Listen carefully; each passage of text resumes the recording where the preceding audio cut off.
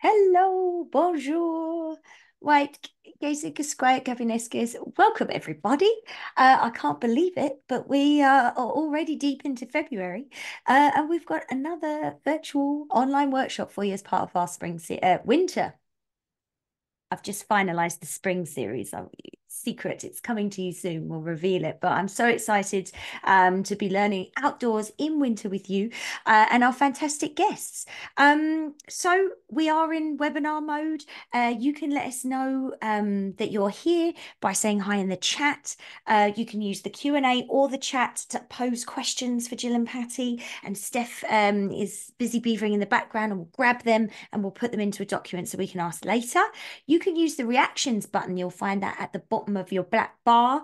Uh, and that can do yeah with people have found it we've got a little toots and thumbs up um that's the only way we can see your your your spirit um because at the minute we sadly we can't do faces um all 411 of you uh and counting um so please feel free to use that. Also, if it helps your accessibility, the three but dots at the bottom of your black bar, you can click that more button and find closed captions and turn those on. Uh, and that will give a live transcript as we're speaking, um, if that helps you to um, engage with the learning more. Um, and so I, I'm going to share my screen and just dive in. To letting you know. Today is the 20th of February, and we have an amazing uh, couple of educators here who have been hugely influential and inspirational in my education, personal life, uh, here to talk stories in the wild, uh, animal tracks and traces. Um, I just wanted to take a second um, to uh, offer um, my acknowledgement to the land that I'm joining from. Um, this picture's out of season. I normally have a seasonal picture, but I wanted to point out the fact that it is unseasonably like spring here. Uh, it doesn't look like this at the moment. It tried to snow today a bit, but the leaves and the trees are green. They're not white. We've got the lowest snowpack recorded. And so I, I acknowledge that this is Sinixt land and that for thousands of years, um, there have been informal records of, of what the climate and our relationship with that, the weather we see has been. Uh, also for the Secwepemc and the Syilx and the Ktunaxa First Nations who've traveled along the rivers uh, and through the mountain passes to the confluence of the Columbia, uh, the, the Swift River or the Mishkakis River, the Chickadee River as the Ktunaxa call it, um, that have come to this place where I am um, and have deep embedded knowledge about it. And the people that i'm talking to um, that have retained that traditional ecological knowledge are very concerned about the changes that we're seeing. And so i just want to acknowledge that um, today my connection to the land and and and that acknowledgement of its people and what it compels me to do is around um, how can I learn more uh, about the balance that I need to live in in order to protect uh, and conserve uh, the environment going forward? So that's that's my personal feeling in this moment uh, about what it's important to do. Um, if you haven't been with us before, you know we have these free, amazing virtual workshops. We're also doing a bit more of some deep diving with some virtual courses on teaching imagination, wild learning, which is literacy and math outside, Indigenous ways of knowing with Louis Marie uh, Dorion, uh, and inclusive outdoor learning. So you get four sessions with the authors of the amazing resources, and you can do a bit more of a deep dive. So you're more than welcome to join us there. We're also just about to launch I mean, we've launched it. You can sign up and it starts on March 11th. Our first ever comprehensive professional development course in outdoor learning. Uh, this is for K to 12 educators, um, 30 hours of work, through your own pace and at least three, and if not more, uh, 60 minute live virtual workshops to get feedback and build community of practice. Um, and we'd love to see you there. And my amazing co pilot today is Steph from Take Me Outside. Hello, everybody. It's so lovely to have you all here. Um, I want to say, Mi Nu Ilam, come inside.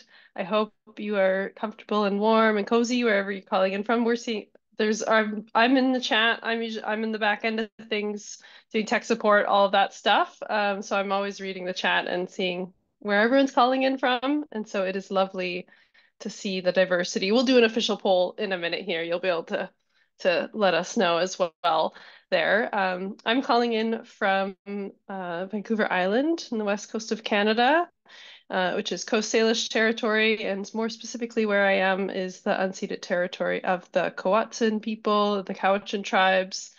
And I always love to see when there's other folks local uh, in the chat there who are also enjoying the uh, the rain that is coming down here today. Uh, I always am struck by how much rain you can get in one part of the year and then drought in other parts of the years and how I've noticed those extremes, you know, becoming more and more uh, poignant over time. And yeah, what Jade's talking about here has got me thinking that as well. Um, yeah, happy to be here with you all though to be talking about tracks and traces but if you need anything i'm in the chat uh, i'm going to try and help in that sense gather your questions and at, we'll ask as many as we can at the end. So i'm going to pass it back to jade and i'm going to be putting links and things in the chat. So i know it's really busy uh, in the chat. So if it's overwhelming rest assured we are sending a follow-up email after with all the resources certificate recordings everything you need will be in the follow-up email too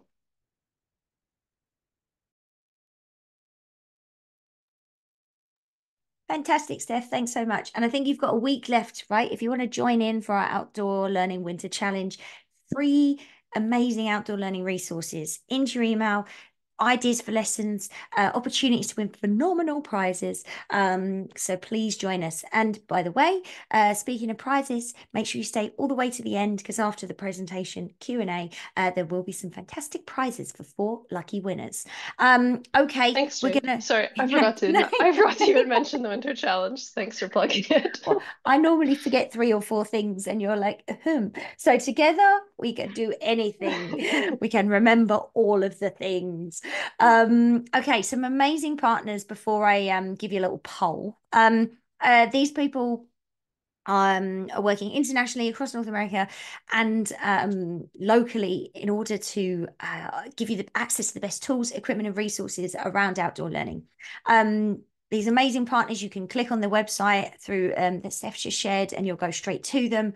Um, whether you're an early childhood educator looking for support on uh, how to get outside and play, for example, or any of those, there's too many to go through them all individually. So I'm going to pass them through. We've got some amazing US friends. And uh, some amazing advisors that, that are working really hard to um, do their best. Oh, but it's so exciting because we've got some new resources that these amazing educators joining us today have helped develop um, and have been I mean, developing and and testing and proofing with classes for some serious amount of years. Um, but it's so amazing that we've got these beautiful things coming in. Um, and um, we've got Patty Kay and Jill. But quickly, before we go in, I do just want to give a little poll. You know, we love a poll here. So uh, let me scroll down and find um, the first one for you. So I'm going to launch these. So First question, you can scroll down for question two, is where are you joining from? Um, we used to split it down into just Canada and the US into all the different sort of areas of that. But what we were finding last series, we had like 47 plus countries represented. So we wanted to see if anyone's joining us. We've never had anyone from Antarctica, I believe, though. I know they have the internet. Um, okay, and who are you? Of the 490 nearly people here, um, what kind of educator are you? And all are welcome. I'm going to let it run for just like another five seconds. Unfortunately, if anyone raises their hands, we can't have you unmute and share, um, but you can use the Q&A or the chat box. If you need tech support or you want to ask a question, please feel free. And if uh, you don't see yourself represented in that list, please feel free to um, type in the chat where you're joining us from. Okay, closing in five, four, three, two, one. Okay, and I'm going to share the results with you. So big Canadian crowd today. Okay, we've been hovering around 50 50. So, uh, welcome, but all are welcome. Uh, nobody from elsewhere at the minute, but lots of people watch the recording. So, um, if you're joining us in the recording from a, a more convenient time zone, because we know it's the middle of the night uh, if you go across the pond. Um, welcome, welcome. And so, look, I love this though because this is is almost now a given that we are seeing this amazing range of educators, from formal educators to people doing more informal work or this admin or support people. All of you are amazing.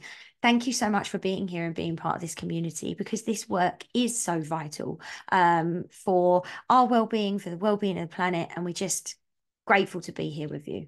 Uh, and so the two fantastic people sharing with us today. And Patty Klaneshko has worked as an environmental educator for 20 years. Did I say it right, Patty? Almost. I, I, I normally I would practice, but we were having um like a reverse escape room situation getting prepped for this. So instead of like trying to break out of those escape rooms, if anyone's done that, we were all trying to break into Zoom um, and it was resisting. Uh, so here we go. Uh, I do apologize, Patty. Um, Patty's in her element when teaching outdoor ed, and I have learnt from you in some of your professional development workshops uh, and enjoys helping young people find meaningful connections to their natural environment. And Jill has also been working in environmental education for enormous amounts of time. Don't look old enough, um, but lots of different capacities through the career, singing and dancing as an interpreter, and um, and also developing and designing environmental education programs in BC and beyond. Um, I'm so grateful that you're both here with us today. I'm going to stop sharing and pass the education baton. Wonderful. Thank you so much for those amazing Yeah. welcomes, Jade. Thank you. And we'll just get our screen sharing happening All here. right. All right, so Kisa Kyukiat, good evening, everyone. We are so excited to have you joining us tonight as we embark on a journey of mystery and wild wonder with you. Whether you're eight or 80, identifying wildlife tracks is one of the most rewarding experiences a, a nature lover can participate in. Mhm. You become a detective searching for clues as to what animal has left its calling card. And if you look more closely, you can also gain some information about their behavior. Like a true Agatha Christie novel, the stories of the wild can be mysterious and captivating. A world of clues and signs, and a world that we're excited to be bringing you tonight. So thank you. Mhm. Thank you so much for being here with us. And before we continue on here, we just wanted to acknowledge where we're we're bringing this presentation to you from tonight. So Patty and I are both here in Kimberley, BC, uh, which is the unceded territory of the Ktunaxa people. Um, and Mm. it's with great honor that we teach, we play here, we explore here, we And look for animal tracks. um, and and we just want to acknowledge that our tra- our traditional hosts that have been here for many millennia before us, and and we honor their welcome to us and their graciousness um, to to from them to all of us who seek knowledge in in these places. Yeah, so tonight we have some, so I think some really great things to share with you. Um, we're going to tell you a bit about the wonderful organization that we work for, WildSight. We're also going to explore the track sheet resource and why tracking matters. You know, why do it? Why is it important that we bring this to our learners? And bringing the stories in the snow or mud, depending on where you are, or, you know, we've got some mud here too, Yeah. um, to life. And then also Jill and I have been doing this for a long time. So we want to share some of the, the great activities and extensions that can go along with this resource and animal tracking. Absolutely. All right. So let's get into it here. Um, so you'll see this is our lovely Patty here leading one of our many environmental education programs that WildSight offers, um, and which we've been offering for, you know, almost two decades now. Um, we've been delivering education, conservation, climate action programs for over 36 years. And during that time, we've connected over 100,000 learners to their wild backyards. Uh, we've also been able to connect almost 4,000 teachers just through um, professional develop opportunities and workshops and working th- with them through multi-day programs like um, our Eco Stewards program. We've got programs like our 15-day accredited Mhm. paddle trip, which is the Columbia River Field School. Um, and with all of our programs that we offer with WildSight, they're always deeply rooted in, in place-based learning. Um, and today, this learning is delivered by 20 of our highly qualified environmental educators, two of who are with you tonight. and over decades of delivering environmental education programs and working with thousands of teachers, it's given us a lot of insight, you Mhm. know, into the Yeah. resources and the tools that help educators like yourselves uh, bring the stories of the wild to life. So tonight, we're going to share with you a brand new resource um, that was created by educators for educators uh, to make seeking out and learning more about the mysteries left behind by our wild neighbors really fun and really engaging. And we'll share more details about that resource a little bit later on. But for now, we invite you to Mhm. grab that nature detective hat, plop it on your head, and get ready as we dive into the world of how to solve the mysteries in our wild backyards. So, the art of animal tracking and why it matters. Well, animal tracking is an ancient human skill Mhm. that's been that's been teaching people about their environment for thousands of years. For our ancestors, tracking was extensively used um, around the world for hunting to acquire food, but also to stay informed about the dangers that might be around. Today, in our areas of work, um, we use animal tracking in a beautiful way to introduce learners to the interconnectedness of their living things around them, to create a story of what's happening in their wild backyards, and to connect learners to nature in a hands-on and meaningful and exciting way.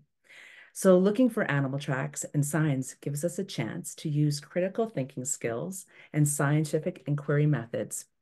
It's an incentive to learn about the different animals that live in your area and gives learners a chance to lead and problem solve in nature. Mm-hmm. And it's a lot of fun. oh my well. gosh, it is so much fun. All right, so now we kind of know the why. We're going to kind of dive into also what you might need if you are, you know, taking a group of students out and you want to dive into exploring animal tracking. Absolutely. I think one of the first things you need to do is probably, you know, pack that that nature detective kit. Yeah, exactly. Um, always like to bring out some magnifiers to really kind of get down and get looking around and seeing what's around. Um, also some um, rulers Mhm. uh, to measure the gait and the size of the animal tracks. Um, we love to bring out stuffies, and I know Jill's awesome at bringing out the puppets. She always does amazing little things with you're so good at that. yeah, so bringing out little animals that maybe are connected to your local area. And one of the things I think we we always bring with us, um, or if the teachers that we're working with can, is sit pads. They are really essential, um, whether it be snow or mud. It just kind of gives them a comfortable little seat, kind of sets the Mhm. stage, and it can be used for so many different, uh, you know, ways. But warm bums, happy learners. Absolutely. So- So just a few of the things that you can bring out with you. Um, and before we head out really on any outdoor learning opportunity, including animal tracking, it's really important to awaken all of our senses so that we're ready Mhm. to see all that is being offered out there for us to see. Uh, so one of the first things you may want to invite your learners to do is to open Oh, up yeah. those deer ears, right? Listen to the sounds that are happening in nature.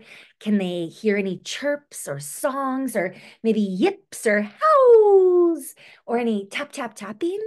Um, and the next thing maybe you're going to invite them to do is to to um, tune into that coyote nose. Mhm. So can they smell the smells of nature?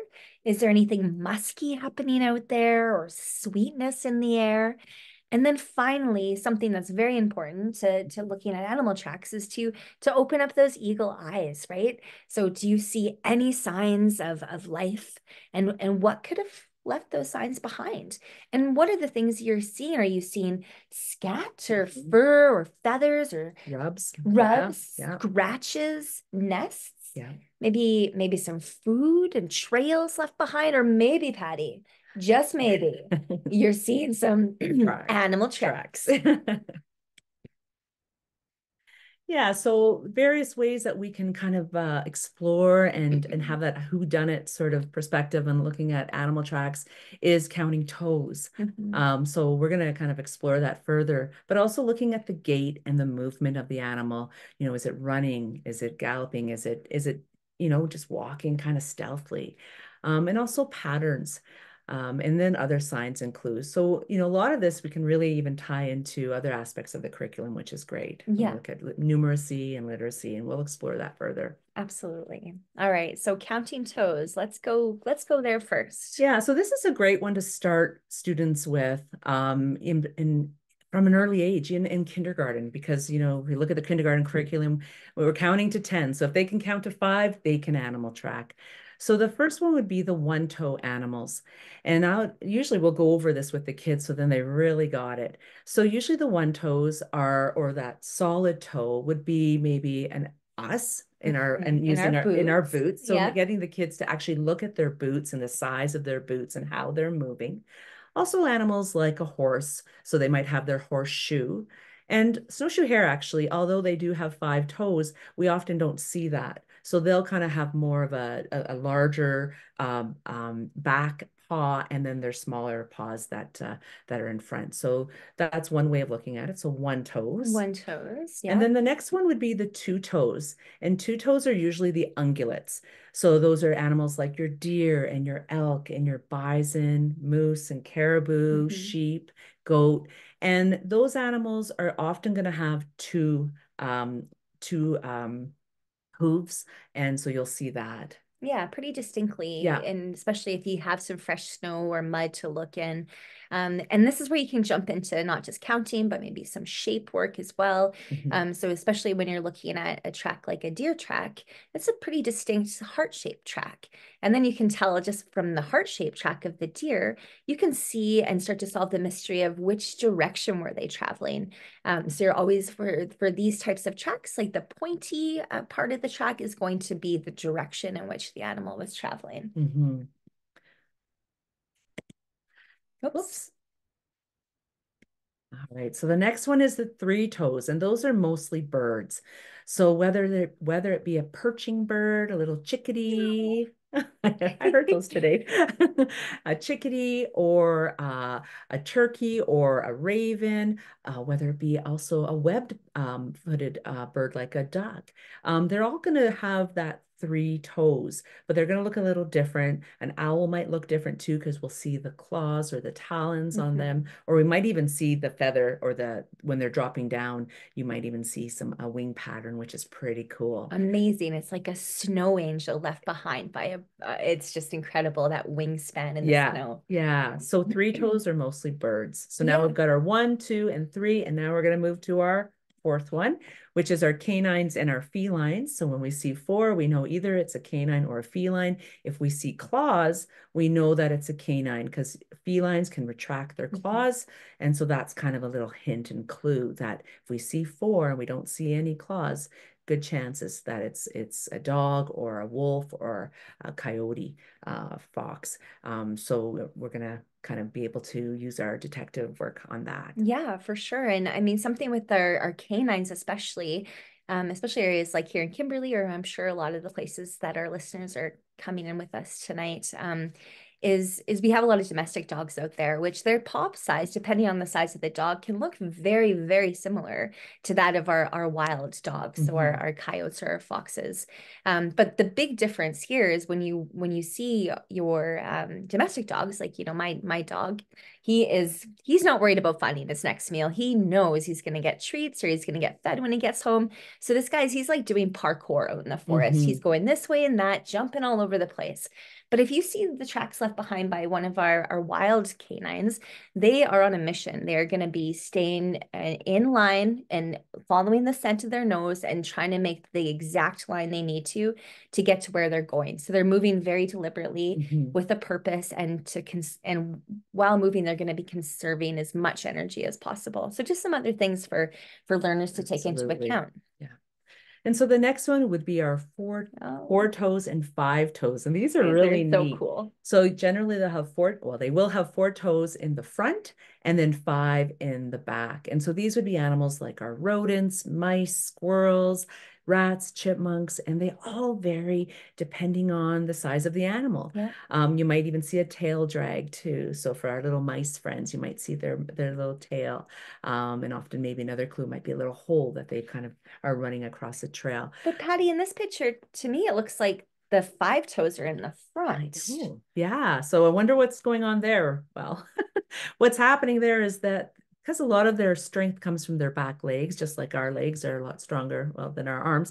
Um, the the animals using putting their feet up front and then propelling or you know, using it as propulsion to move their body forward. Mm-hmm. Um, so depending on what they're doing, as if they're eating or maybe if they're running, their their gait might be a little different. Yeah, and we'll talk a little bit more about gait here soon, but just so neat. The five toe and four toe kids, they're just like, what? Yeah. That's so cool.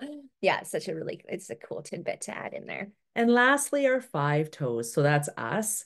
Um, that could be animals like the badger or wolverine, weasels, and bears. And depending on the type of animal or the size of that animal, um, those tracks are going to look a little different, even in different species. So if you're looking at a grizzly bear as opposed to a black bear, the positioning of their toe pads will be a little different. And uh, you can find there's some great guidebooks that can give you some even more insight into um, how you determine between a grizzly and a, and a black bear or a wolverine and a badger.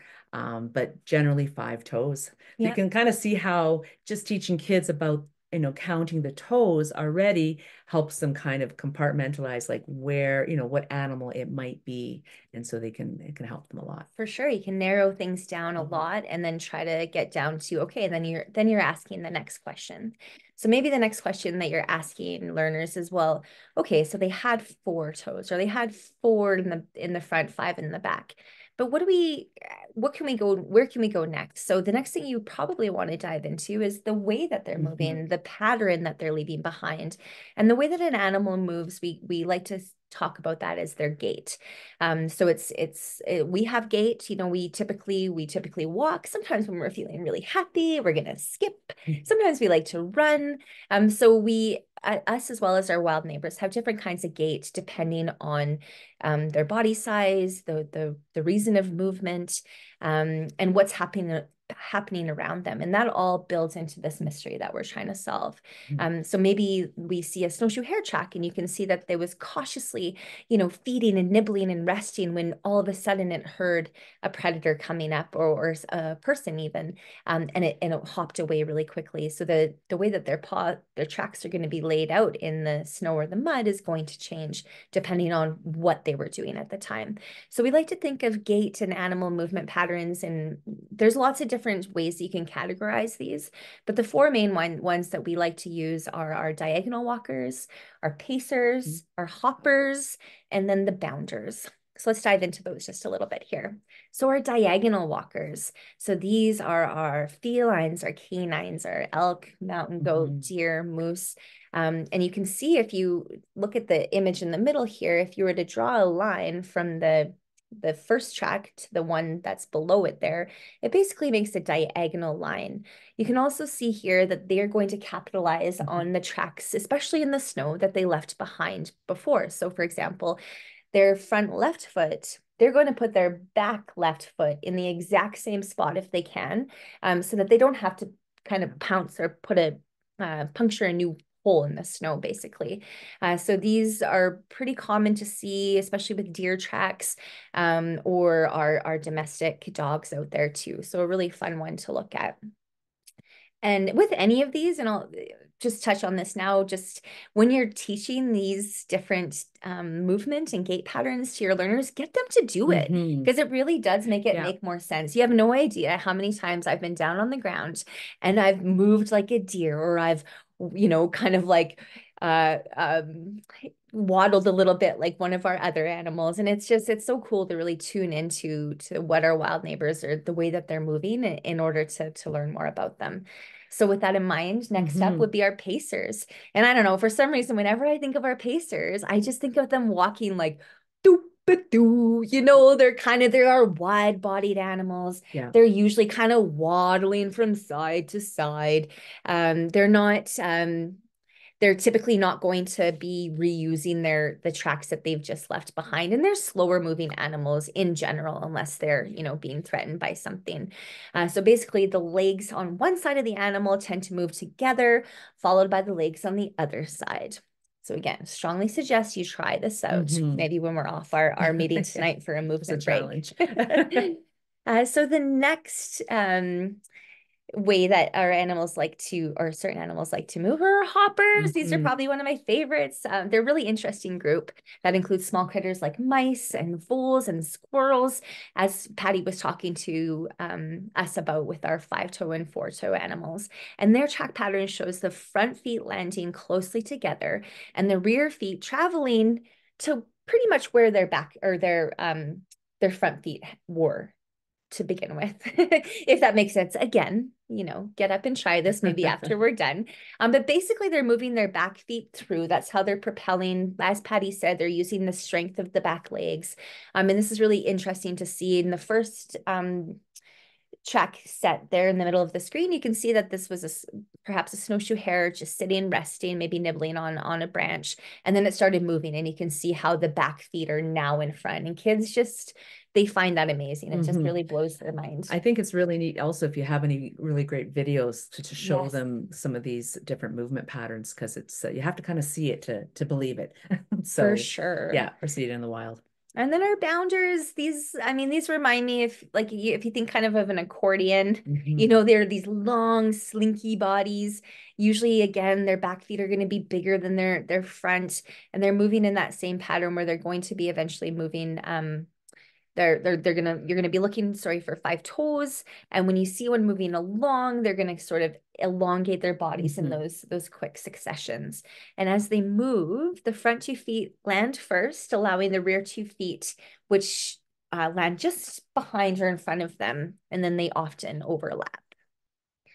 So it's a great opportunity when when sharing this with kids often you know we'll talk about it but then we actually do it. So definitely it's an opportunity if you use you know you're using the track sheet or or taking kids outside you can do it in the gym but you can also do it outside. So it's a great phys ed dpa sort of oh, thing yeah. to do with the kids. So absolutely. getting them you know pretending they're a bear or you know a wolf or you know a pine marten. Yeah so. super cool so yeah, so sometimes animals don't leave their tracks. So, you know, putting their detective hats on, I get kids, we get kids often to kind of explore what are some other signs that animals have been in the area? What clues have they left?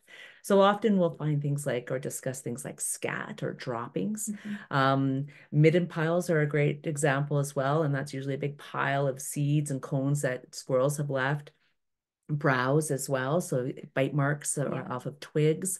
Um, around our area, we see lots of uh, rubbings from from uh, the antlers of deer, and right about now they should be dropping those off pretty soon. Mm-hmm. Their sheds. Uh, we might see feathers, or we might see blood. We might see bones.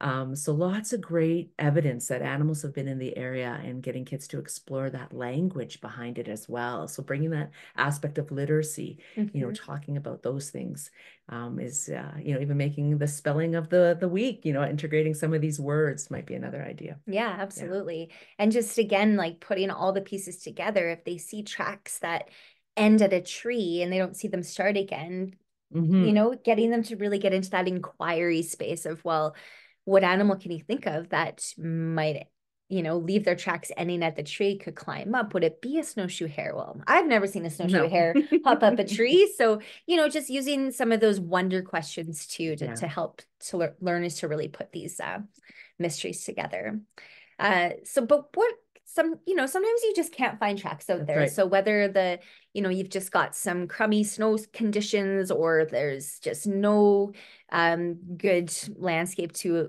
for the animals to have left tracks behind or they just they're well we've been to schools where there's it's inner city right like there's mm-hmm. no other than you know maybe crows or ravens uh there's really no like wildlife around so um but this is yeah yeah this is a great way if you you know for for those times that you can't find any tracks um this resource the track sheet that we're going to talk a little bit more about um is a great one just to to be able to build these stories in the snow um, and we won't go into too many details because you can find all of the details about the track sheet on the Outdoor Learning store.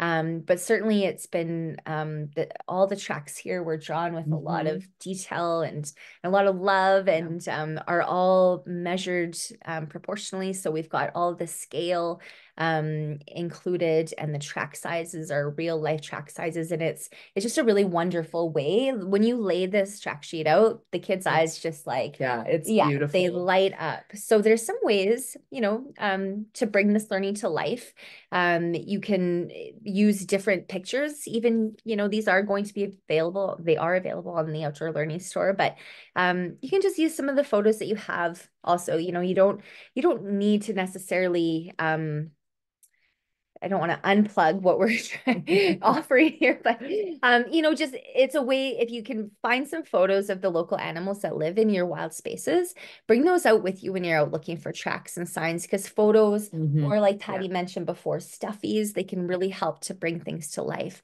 Having some of these tidbits of the natural history, really kids just like they love it. They love knowing that, you know, snowshoe hares will eat their own poo. Like kids just die over that. It's like the best thing ever. If you've learned anything from this workshop, now you know this information. And so we're just um, we've just got a couple slides here just showing some of the elements that are in- included in the track sheet that is now available on the Outdoor Learning Store. Um, so just to help um, educators and teachers to bring the stories Mhm, To of- life. to yeah. life that happen out there in the wild. And so here's just this is what would be included in the kit. Again, we won't spend too much time here because I, we know that you can find this online, but But I mine's sitting over there and I just received it today and I am so excited Oh to go gosh. out and uh like you know use some of these tracks to you know to put in the snow so the kids can work on identifying it and it's just it's a great kit. Yeah, we found as soon as I saw Patty when I was walking up to meet her today for our workshop, she's pulling the tracks out of her backpack and we're putting them in the snow. And yeah, they're super incredible. Just a great resource to Yeah. have when you don't always, you know, have the perfect tracks to be exploring. So just some of the learning extensions that you can use when you're out looking for um for tracks and and and signs and and um left behind by animals. So they're like Patty mentioned before, Mhm. lots of opportunities for literacy. So telling the story of what they saw and then using, you know, images and art to to help to recreate that story. Yeah, and you'll see the bottom uh, picture there is actually a picture of the the sheet um, that we took inside with the kids, and we used uh, story stones for them to kind of retell their story of what was going on, um, and that's a really effective way to you know integrate sort of that you know going out and seeing and playing, and then the you know telling a story, and then either writing it or drawing it or Mhm. however whatever age um, you know students you have, um, and also integrating math as well. Oh, so yeah. you know, utilizing the tracks sheet and all the information. Um, here you'll see a black bear track that we found, um, and just using uh, cubes to help students, you know, talk about estimation or perimeter. Um, so there's a lot of ways you can you can use um, this track kit um, and just share. You know, this can be like a whole unit. This can go on for a long time. Oh yeah. Um, and the nice thing I, thing I like about the track sheet is that it doesn't have to be a one-time thing. Like, I mean, we've been using the sheet for over, you know, 13 years with with schools and stuff, but even in my own teaching practice, I pull it out all the time, any time of year. Um, because it's just so effective and the kids just keep coming up with stories and ideas and we just you know take it in so many different directions so it's not just a one time thing you can use it many times um, throughout the year too Yeah, absolutely. And you know, if there's if you're looking for some extensions or some additional resources to use when you're outside looking for animal tracks and signs, um, you can go to the Wildsight website. We have an extensive library of um, environmental education resources, um, and one of which is just this simple track sheet um, Mhm. that we've kind of created that you can print off. Um, this could lead to a good scavenger hunt or Yeah. bingo, Bingo, or yeah. Our toe counting, right? See, you know, how many you could cut these out and and have them um put them into groups like two Mhm. toes, three toes, four and five toes. Um, so lots of different ways that you could use a resource like this. Um, or you could just create this, like Patty said, I mean, it could be included in this whole unit um around local animals. So even choosing one animal, like if if all your students wanted to pick their favorite or or a track that they've seen, and you can include this um just simple literacy uh sheet so you know having them draw their their animal and then um who made the track. So having some guessing and and estimation and prediction work going on um and where did you find it? And you know building upon the story and um three events that might have happened to that character while they were out there. And then what happened? What was the end? Was it you know the story of a little mouse that you all of a sudden saw its its tracks end after you saw this big owl snow print in the ground so lots of different ways that you can um, build in literacy and and art and creativity into animal tracks and signs as well I'm just wanting to share just a little video too here. Just um, these are some Mm. uh, local Kimberley kids uh, grade one class that I actually had the pleasure to take out recently. Um, and I used the track sheet with them, and it was just so incredible to be able to lay it out and have them really look closely at some of the tracks that they might see while they're exploring. And indeed, a lot of these kids did did see some of the tracks that were on the sheet. Um, and some, you know, we had some pretty wild stories happen when we asked them to go in and build some mysteries and Mhm, share mhm. stories with the with their their for um, other students. So I'll just play this.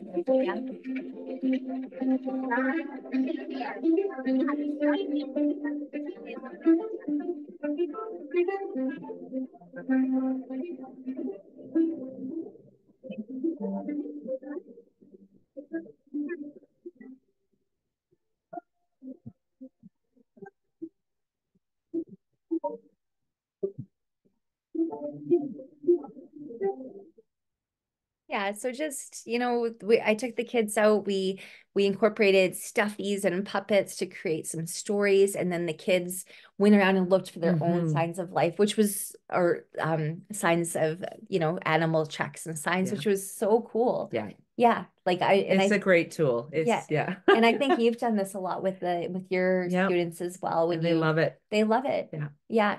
So many different uh, ways and directions you can take it in terms of the curriculum. It's great. hmm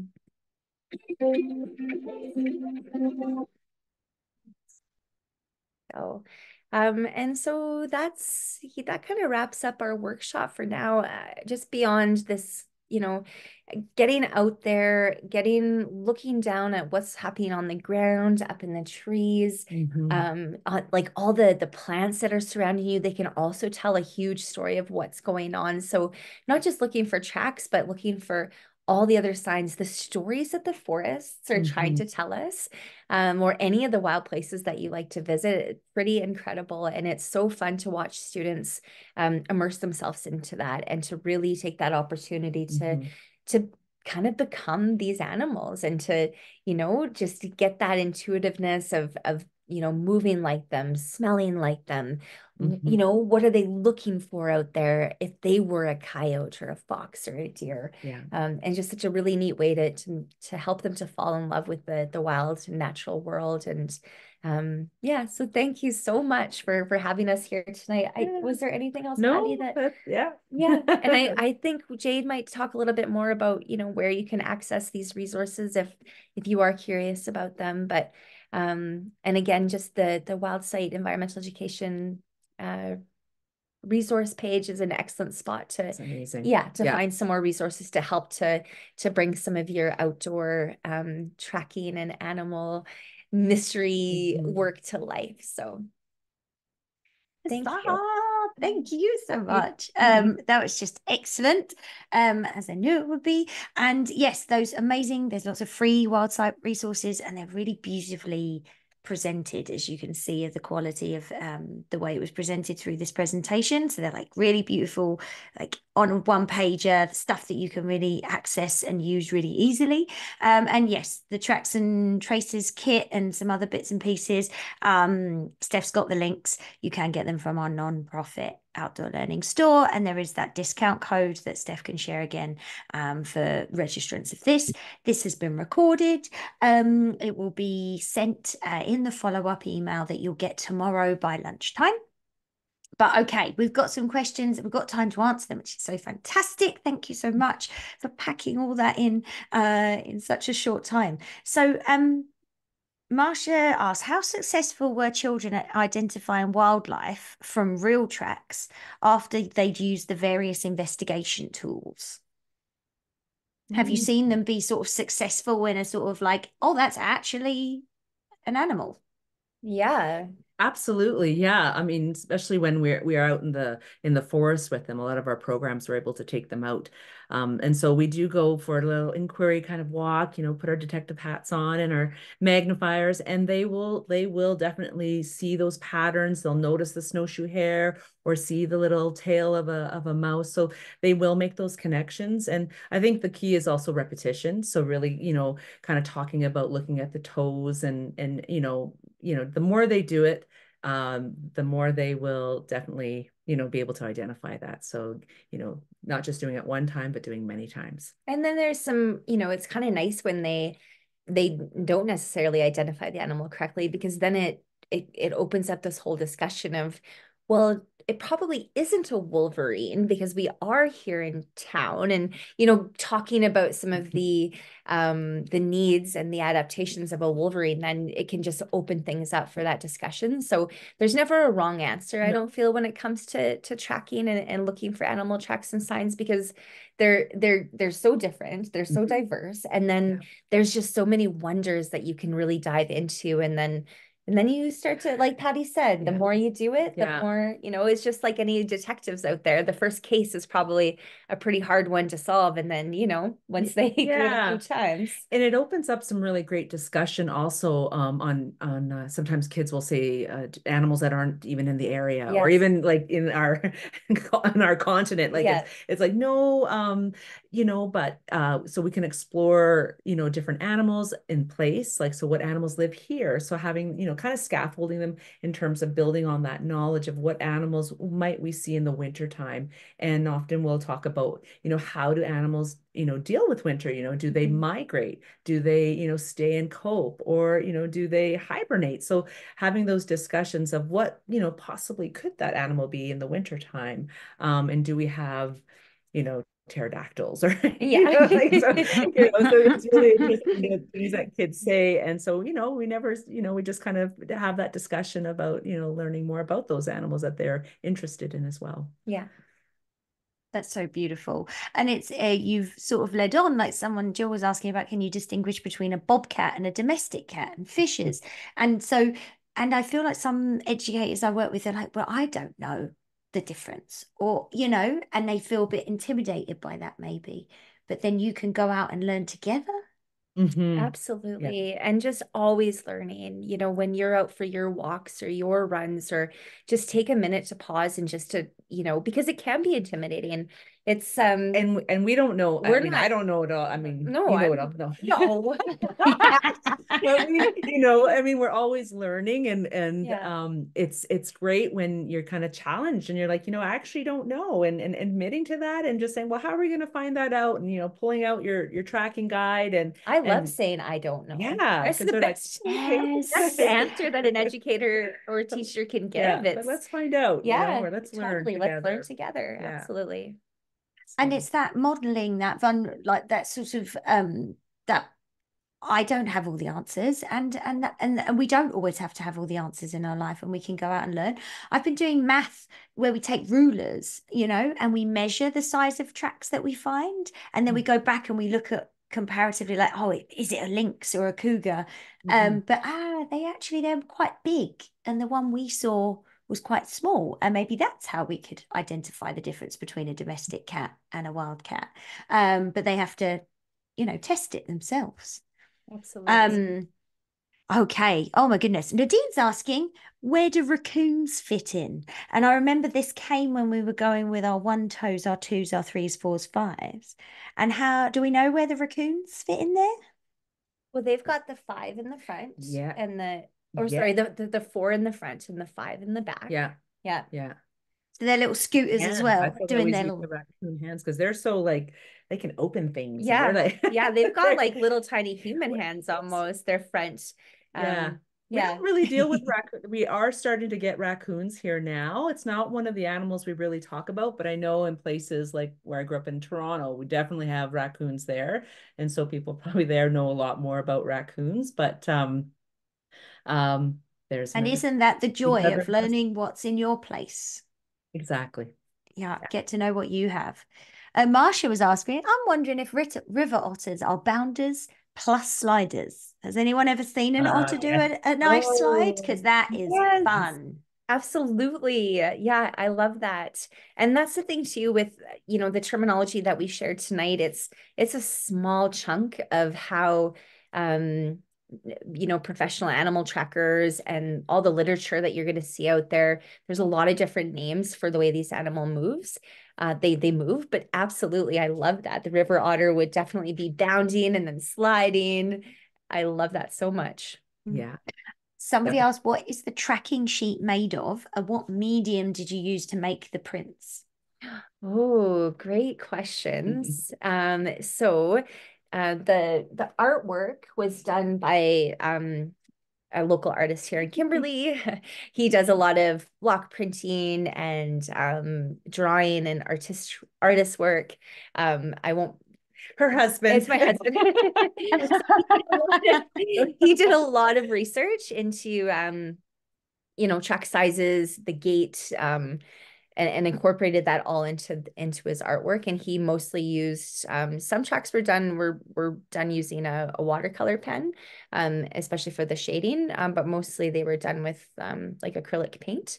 Um, and then the the track sheet itself, um, it's a polyester Mhm. sheet, um, and it's it, Yeah. it, It's and it's good to know with the the sheets and just because we know we we've used these for years, not this particular one, but um one that was actually handmade.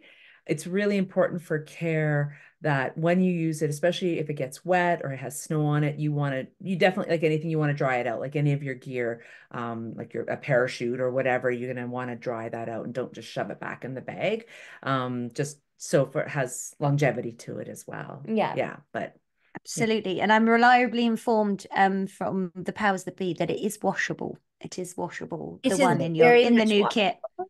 Mhm. Yes, absolutely. Yeah. Yeah, the one that I had that was homemade, you know, that was I did with a Sharpie pen. Sharpie. Yeah, that was Yeah, not so too. much. It, well, yeah, anyway, this yeah, so um and if there's any questions at all outside of the workshop in terms of of the artwork or the creation of the track sheet itself, we're very open to to chatting about that. So thanks for those questions. Okay, beautiful. Um, just time for a couple more. Um, how do you use the SCAT pack in programming? How are you introducing SCAT within uh starts with an. S and it ends with a T, don't you? Yeah, there's a SCAT There's a song actually. Um, Yeah. you can find it on the internet. so Yeah. how do you? Oh, you. you- Well, I think that you- well, you can Have just uh, build, yeah, like you can with the tracks, the the scat and then the the track um replicas, you could build your own story out there, you know. So maybe you have you you use the deer track uh replicas to to create the the tracks in the snow if there Mhm. aren't any around or in the mud or you know whatever um, landscape you're working on. And then, you know, then maybe you're putting that scat out there with that animal too. So it could just be an, an additional clue that the kids are finding. Um, you could compare them, you know, there's a lot of like the comparison between chocolate almonds and Yes, that's my favorite. I turn it into a literacy, like a metaphor. It looks like and the size of and reminds me of. You know, and talking about also exploring like what are animals eating? You know, you can s- tell a lot about an animal. You know, in around here we get lots of grizzly bears and and black bears. So depending depending on the time of year, um, you can see a lot in their scat too. So uh, talking about you know how what are animals eating? You know, what did Yeah. what was And it can tell a lot Yeah. just about just the size of the animal that left it behind too, right? When you look at tiny, you know, just um, some of the smaller scats that you can find, you know, in the areas that you live compared to the bigger deposits, for lack Yeah. of better word. Um, that's just there's a story right there too. So um, lots of different ways to to use those. Amazing. I've just realized someone's requested, could you stop sharing so that you're big? I forget, Oh yeah.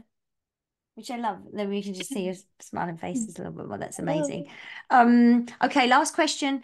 Um, was talking about um perhaps people that are in um an area where they only have pavement in their learning environment or something like that. How might we maybe use the um uh, the track replicas or the track tree in that kind of environment? Yeah, I think that's the kind of the perfect Mm-hmm. environment actually to pull out a resource like this when it when you're in a spot that you don't necessarily see it right there in your learning area and and maybe you're not able to go to a wild space.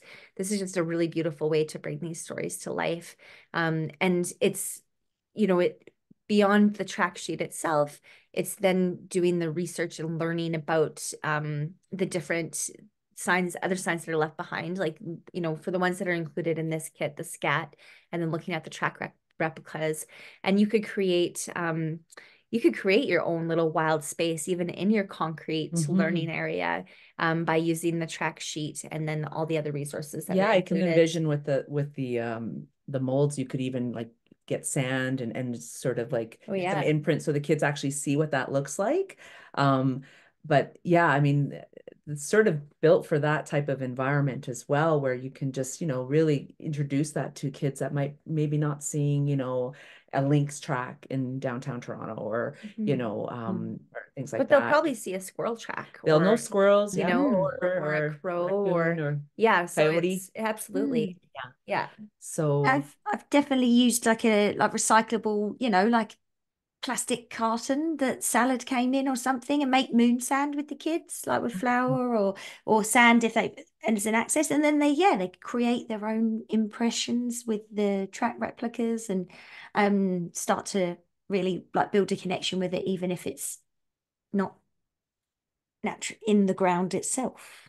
Absolutely. One thing uh, we use around the track is also um, ta telling a story. So doing kind of a story creator. So having, you know, maybe a stuffy or or a, you know something that gets the kids talking. Maybe modeling it first so that they kind of practice that maybe with a one word, and then building on a story about what's going on here. Um, I find that really effective. I've done that with kindergartens, you know, all the way to you know higher grades, and it works really well um, Mhm. even using integrating movement. So bringing in a djembe or some kind of drum or percussion and getting the kids to move their bodies like the animals. So, you know, not, not always just sitting and looking, but, you know, like we're, we're kind of acting like that snowshoe hare and we're, you know, you know, moving to the beat. So really you can, you can integrate it in so many ways. Mhm. Um, and we've done that with kids lots. So yeah. It's just so fantastic.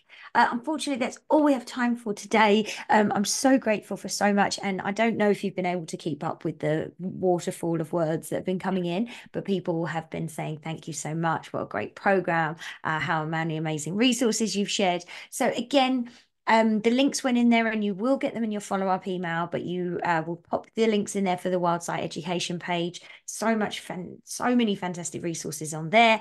Uh, links to all of the resources that they've talked about and also others around this sort of tracks and traces.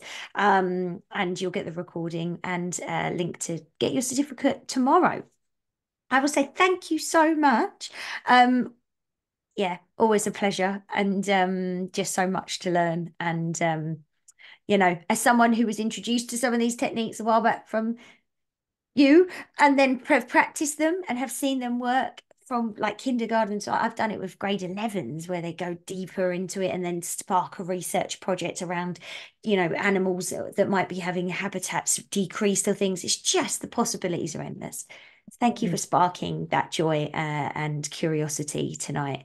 Um, okay, everybody, don't leave just yet. We're going to pull four random uh, prize winners from the list of attendees. All 400 of you, stick around. Okay, first scroll. I have Tirzah Rilkoff. Tirzah Rilkoff. I'm going to um, T I R Z A H. You uh, have won a $25 gift card to the Outdoor Learning Store. Please let me know if you are Canadian dollars or US dollars. Okay, next random scroll, and it lands on Colin King. Colin King, you are a second winner of a $25 gift card to the Outdoor Learning Store. Oh my goodness. Right now we got um oh please uh send us a message or we'll send you a message asking if you're Canadian or US or you can put something in the chat if that's easy. Mm, okay, Manisha Atam. Manisha Atam, um, you are a winner of a $25 gift card to the Take Me Outside store. So congratulations. We'll be sending you that. And the next one, Sherry Canavan. Sherry Canavan, you are the last and final winner tonight of a $25 gift card to Take Me Outside. To Jill and Patty, thank you for your expertise, your enthusiasm. Your puppet shows are legendary, Jill. I have tried in and failed to mimic the one that you did once on frogs, um, where he was. It was just ins- incredibly good. Um, and uh, yeah, I work on my Thank you accent. for having us so much. Silkeny, yeah. Sukani.